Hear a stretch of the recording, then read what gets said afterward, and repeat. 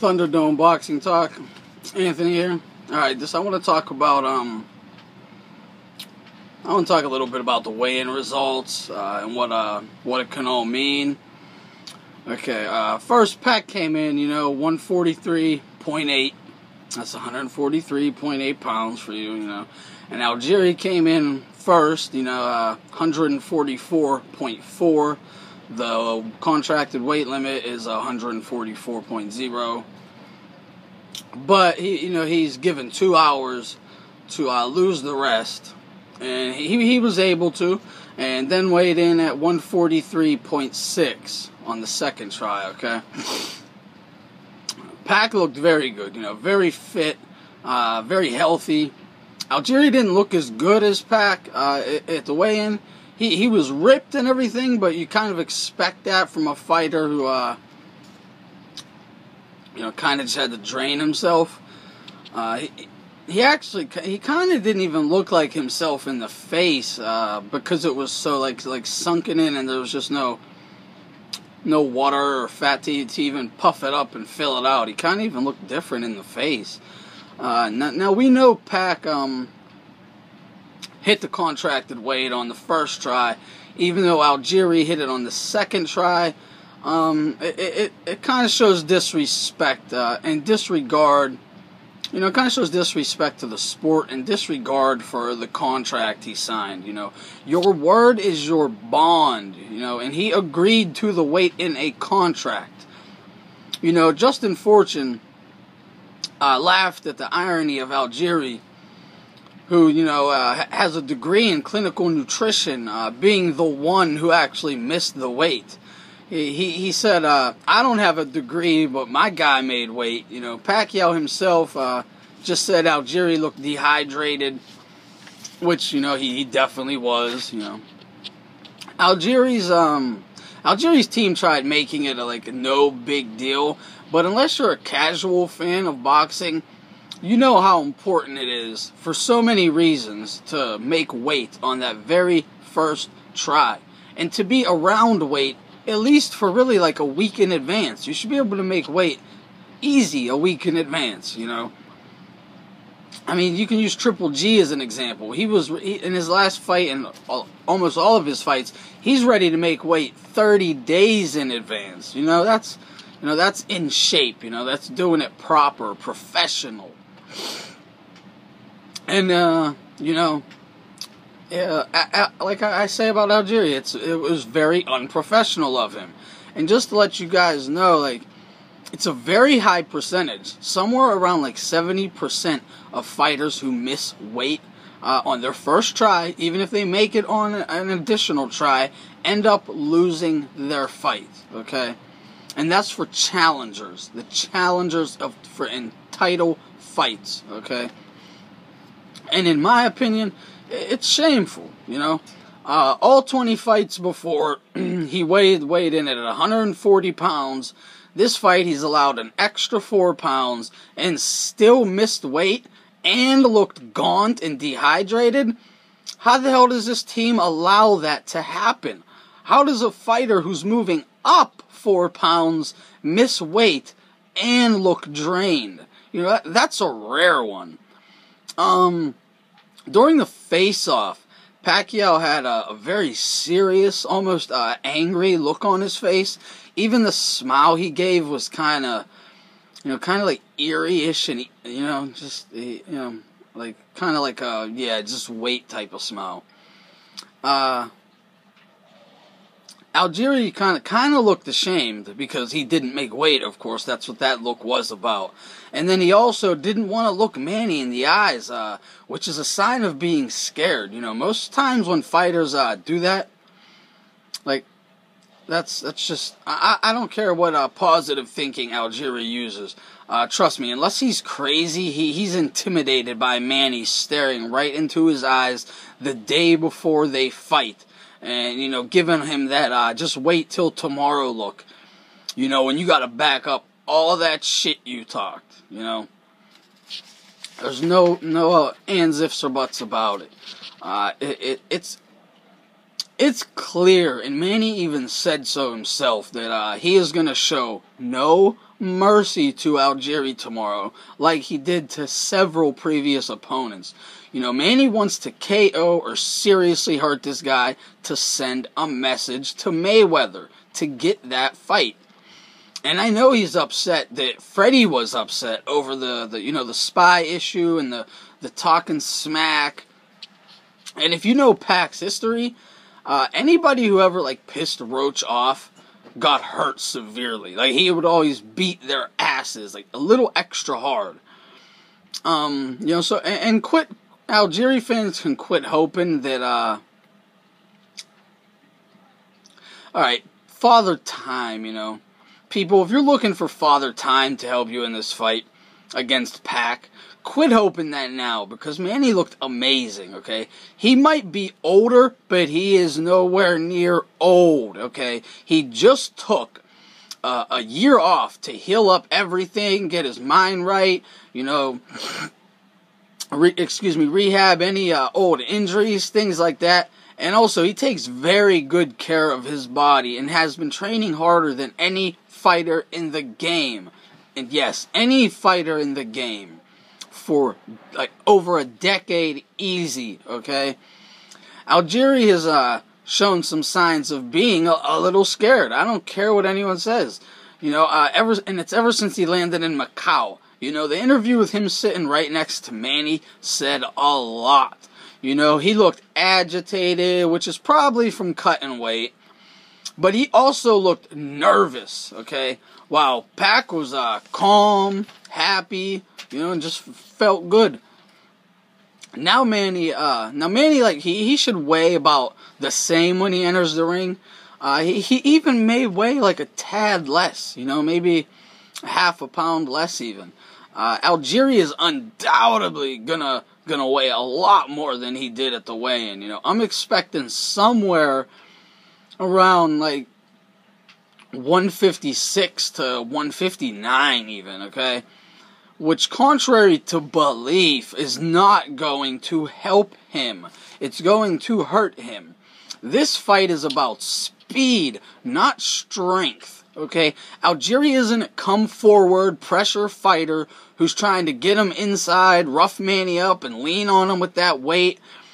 That's not Algieri's style at all. He's never done it. He can't switch up and do it. It would be a disaster. Okay.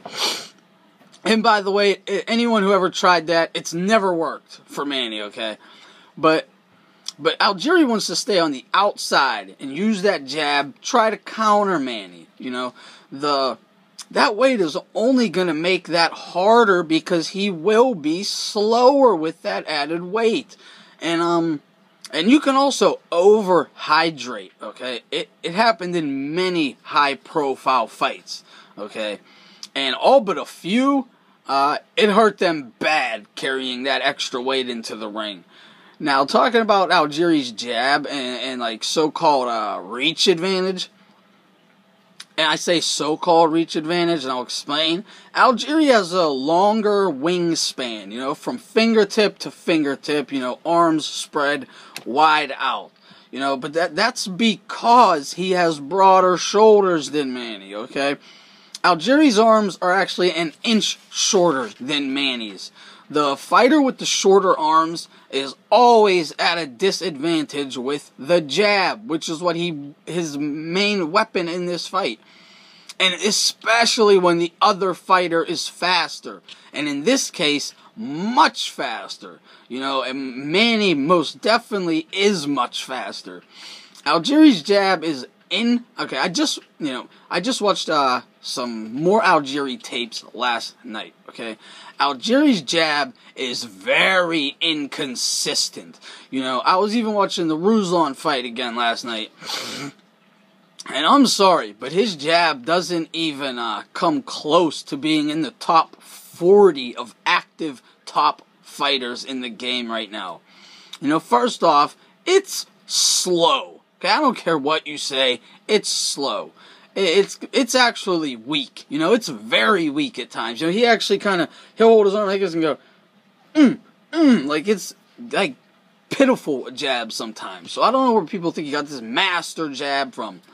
You know, one out of every seven jabs looks good. Okay? That's why I mean inconsistent. Okay, and he will leave it hang out there for too long sometimes. You know, he'll throw it out there, snap it out, but he doesn't bring it right back. You know, or he'll bring it back to his hips, you know, his hip area, stomach area, leaving him wide open to a counter. You know, that jab won't even have half of the success against Pac that it did against Ruslan. Okay, don't look at uh, Algieri, the Algieri Ruslan fight with your heart. You know, um, I know we all like Ruslan for the action he gives, but just look at him. Um, you know, just just look at him in that fight with a level head, and, and the same goes for Algieri. You know, no heart, just a level head.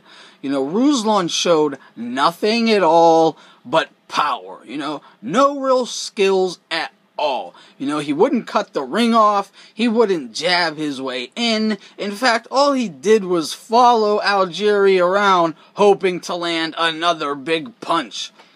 Nobody can expect to win a fight like that. You know, he didn't show anything at all but power.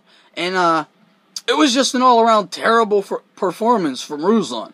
You know, and Algieri barely got the nod in that fight. You know, people still argue to this day that Ruslan won that fight. Okay? Uh, I know guys who know everything about boxing, damn near considered historians, experts. They believe Ruslan won the fight. You know, some of them. Some believe Algieri won the fight. People's scorecards were different on that fight. You know, one guy was landing weak punches and was it was you know trying to back up and box the whole time. One guy was applying, you know, kind of, he wasn't really that effective pressure, so it was just pressure. Uh, and landing the harder, you know, crunching punches, you know, and people vote different ways when it comes to that. So there was no domination. He didn't dominate any fighter, you know, there wasn't an E or D level fighter. He didn't even dominate Taylor. He lost three to four rounds. I mean, I think the official like uh, the the the announcers. I think I gave him uh, Taylor three rounds, but I think even the announcers gave um, Taylor four or even five rounds in a ten round fight. So don't dare try to say he dominated either of those guys. You know, like.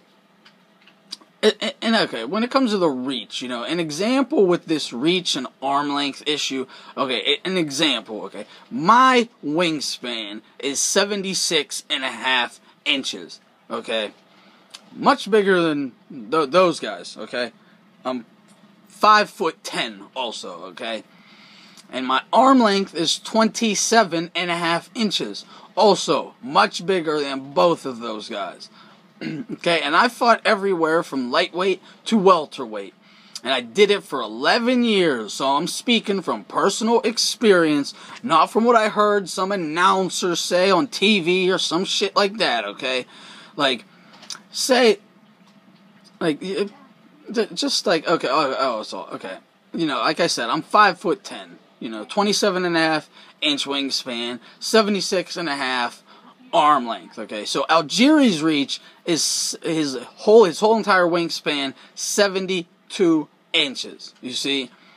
You see, so I got a four and a half inch reach on him. Okay, and he has an arm length of 22 inches. So I have a five and a half inch arm length advantage over him. Okay, Algieri. You know, so it, it, it, it, it's fair to say I have a huge reach advantage over him. Okay, that's you know, and and you know, and a ridiculous reach advantage uh, over uh, Pacquiao and an arm length over Pacquiao. Ridiculous, you know. And yes, my build is, you know, partly what made me so successful as an amateur boxer. Just like, like, you know, Paul Williams, you know, the, the weights I would fight at, I had a very, you know, lengthy frame. You know, I'm not like l- rangy. I mean, I'm rangy, but I'm not lanky or anything either. I just, that's, you know, I had a good build, you know. Uh, and that's why it worked for me. But um, you know, like, okay, just like Pac's, you know, 67 inch reach and uh, 23 inch arm length, yes, 23 inches. Uh, some like some of my like opponents had very similar lengths uh, to those guys, both of them, to even Pacquiao, to where I even had 10 inch reach advantages over them and 5 inch arm length advantages. You know, I've, I've done that many of times. So yeah, you would think that, you know, I would dominate everybody at that, like, it, with that build, right? Especially considering, like, I, uh, I, always demonstrated good power. You know, I was never like devastating triple G power or nothing, but enough power to keep anybody honest and score knockouts, you know. And most of the times, you know, I didn't score knockouts most of the times, but most of the times I would, uh, you know, dominate like a, a, a smaller guy where I had a, a great advantage like that over. But you know who I really hated facing the most? It was the little guys with very fast hands and feet. And yeah, speed was one of my best assets, okay? But when they're smaller and they, they, they just turn out to be huge problems sometimes. Okay? I preferred, you know, fighting a big guy. You know, that way I could use my speed to give him problems, you know. I didn't care about a reach advantage as much as much as I cared about having the speed advantage. Okay? Because speed can neutralize anything. Anything. Uh, even so-called timing, like you're saying right now. Because how can you time something you can't touch? Okay, so throw that shit right out the window. Did you ever see anyone time Roy Jones Jr. in his prime? Hell no. Did you ever see someone time like Camacho in his prime? Hell no. You know, and the list goes on. And you're gonna say, well, well, Pac ain't in his prime no more. You know, well, if he isn't, he still just soundly beat one of the best fighters on the planet in Bradley with speed. And Bradley is known for speed and is way faster than Algieri, you know, and much more athletic. He's even better conditioned than Algieri. I don't care if the dude has a doctorate. You can tell by his fucking weighing. He don't really know shit like these real professionals, okay? Bradley, much better conditioned fighter. Okay, Bradley was gassed out in the eighth round and admitted so. So even if like he isn't in his prime, he's still the best fighter on the planet. Okay, not Floyd, not Floyd.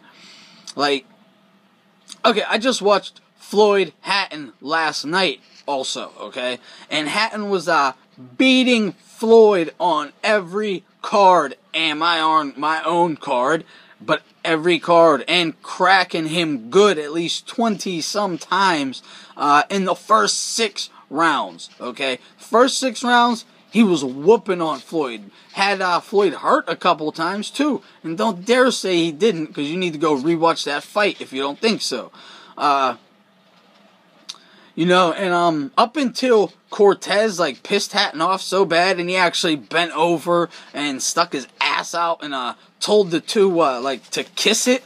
You know, um, you know that up until then he was dominating. Not that I'm sorry, I'm not dominating, but clearly, clearly winning. Okay, there was no doubt about it. If like, there's no judge had uh Mayweather ahead at that time. Okay.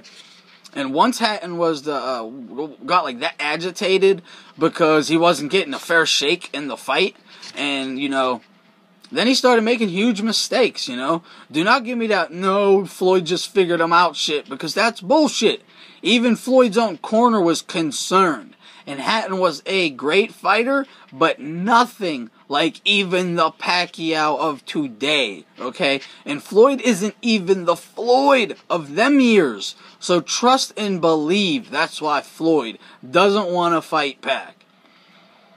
And is still looking for a way out to fight. You know, trying to get Canelo or, or Cotto to fuck over Canelo and Oscar. I mean, come on, that's just his way of trying to pick someone else the fans will accept that ain't Pacquiao. Why not just fight Pacquiao? Why are you even worrying about Cotto? Let them have their goddamn fight. You know, the fans want it. Why are you trying to screw that big fight up that everyone wants to see? And, um, do not bring up the offer that's on fucking Twitter from Espinoza, okay? Because it wasn't an offer. He can't even make an offer. It was just a suggestion, okay? And they suggested that Pac take 40 million, while Floyd gets 210 million. Does that sound fair to fucking you? Does that even sound legit? You know?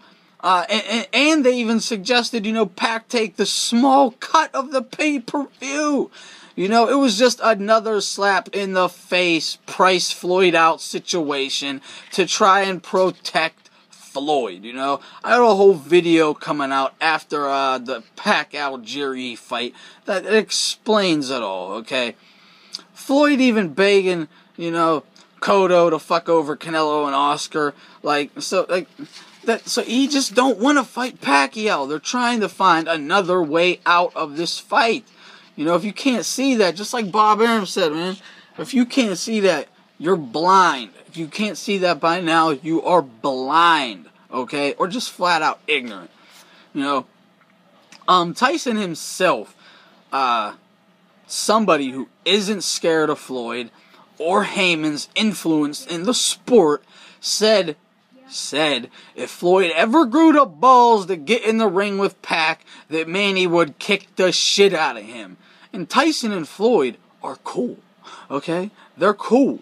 You know, only people saying uh Floyd is going to win are people who either like depend on Floyd. Uh, I'm talking about like the people in the business, you know, fighters, you know, people in the business. Uh, they're either like people who are, you know depend on Floyd or Haymon or are scared of their influence that they could fuck over their careers if they really went hard on Mayweather. You know, uh, anybody that's another. Like, and, all right, no, never mind. Anyway, that's anyway. That's just another vid. That'll be up after the fight. You know, back to Pac Algieri. You know, Algieri will uh, go some rounds. He'll. I, I definitely believe he'll go some rounds. Um, because he's gonna like be trying to survive. You know, he's gonna want to last the the whole twelve rounds. That's really his goal. Okay. Um. Yeah, that's that. He really is. You know. Uh like so he's gonna be able to he's gonna be trying to survive and it's hard to KO a guy trying to survive, you know, a la Kovalev Hopkins, you know, but Algieri is no fucking Hopkins, okay? Not even a 49 year old Hopkins either, okay? So you can most definitely, um, expect Pac to eventually catch up with him and KO him or worst case scenario, he'll just win by a, a, a wide, wide unanimous decision, obvious victory. Um, but yeah, I'm I'm I'm expecting more of a uh, knockout. If he gets uh, this decision, he's Algieri's gonna touch the canvas at least. You know, I I, I believe so. Um, Look, if you actually know the sport, then you know it's true that there are levels to this shit.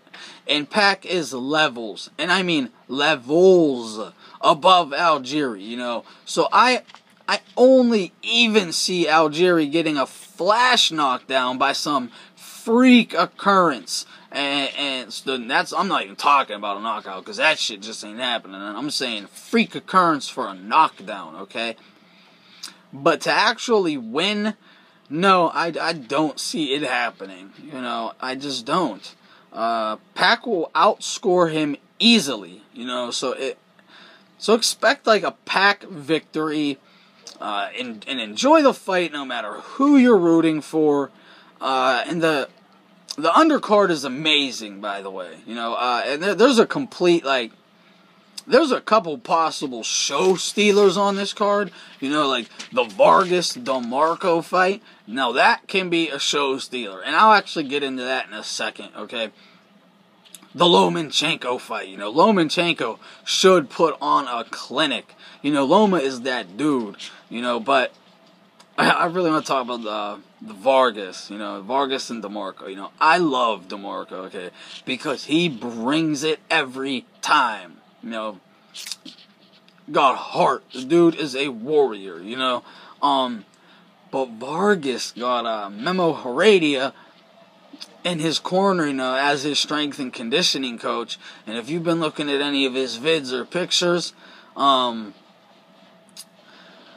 okay, and also in the fight with uh, Pac, there's VADA testing, and the DeMarco uh, Vargas fight, there is no VADA testing. Okay. Um. So, e- like, okay, so even though PAC uh, does have VADA testing, and VADA testing is the real deal. If you don't know, uh, like, about VADA and USADA and how VADA is the one who actually catches people and no other, you know, that other group of guys won't use it because it busts people, you need to go watch the my PEDs unboxing video. Okay, I I guarantee you will love it. Like I promise you. Anyway, Vargas got memo uh, in his corner in his strength and conditioning coach, and he is looking shredded. I mean, he's looking diesel. So like you kind of kind of get the picture what I'm getting at, right? So expect an amazing fight there, you know, and a hell of a performance from Vargas. You know, he also got Roy Jones in his corner.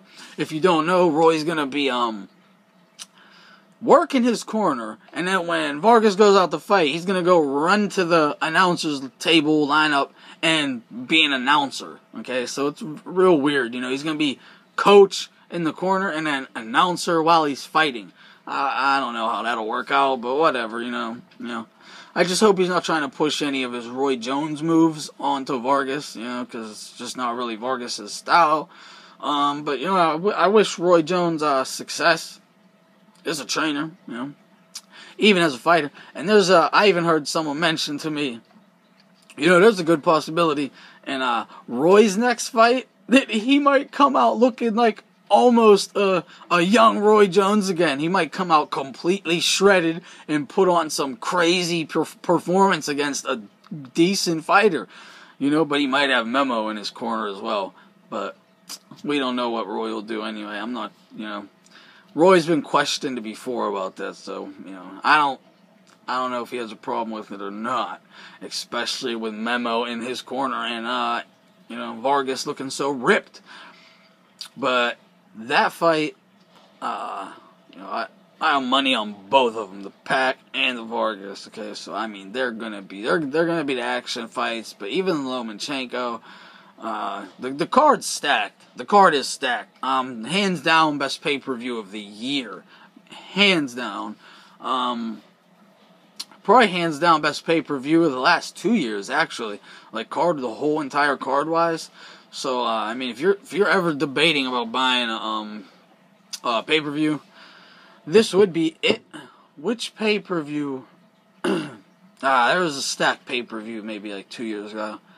It was the no, no, not Cotto Martinez. Uh, how was it?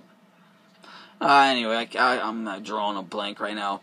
There was another good stack one, but this this card is stacked. Okay, I, I'm telling you, you want to buy a pay per view, this would be the one. You're not going to see another one stacked like this again for at least, you know, Cotto Canelo. You know, that's the best chance you got. Uh, so them are my, uh, you know, weigh-in thoughts, uh, pre-fight thoughts. Uh, let me hear your thoughts. Uh, drop something in the comments. You know, let me hear whatever. Let me know or no, the YouTube, the forums, whatever. Uh, let me know what you think about the the fights, any fights on the card, even the ones I didn't even talk about, um, and what I talked about. You know, drop some comments down there and I'll respond. You know it.